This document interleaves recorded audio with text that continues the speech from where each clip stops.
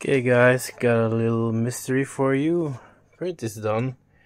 Had to reprint some parts of the Bambu Lab engine kit because my dumbass printed two times the left side parts instead of once the left on once right so I had to reprint the right ones again but then I come here, the print is done, it's completely done, so it's successfully printed, no issues whatsoever.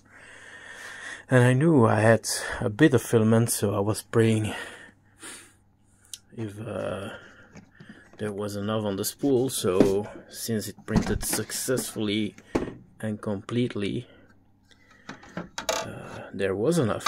But now the spool is empty. So where's the rest of the filament?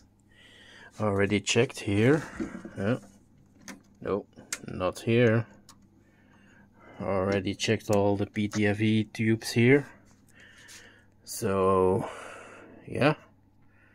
I don't know. Did it is it still in there?